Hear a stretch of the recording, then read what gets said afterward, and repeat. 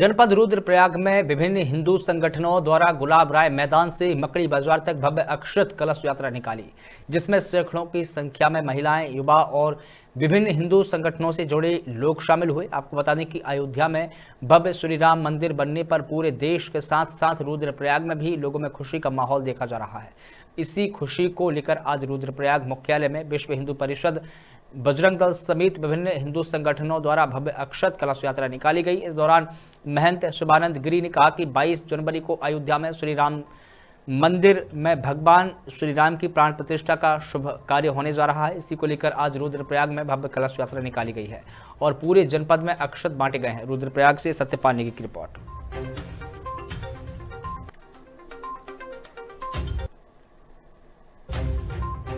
जो है ये कलश यात्रा, सबको पता है कि आज यहाँ गुलाब राय फ़ील्ड से, हनुमान मंदिर गुलाब राय फ़ील्ड से और पेट्रोल पंप तक जाएगी।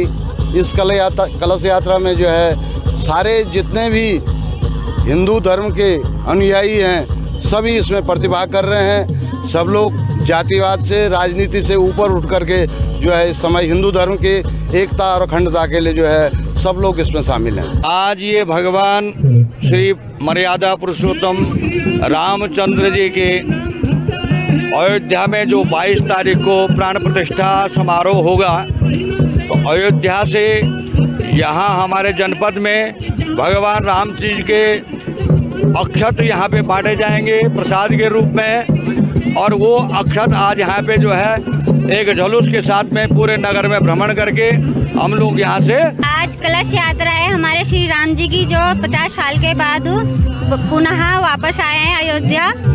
उसके, उनके आने की खुशी में ये कलश यात्रा चल रही है।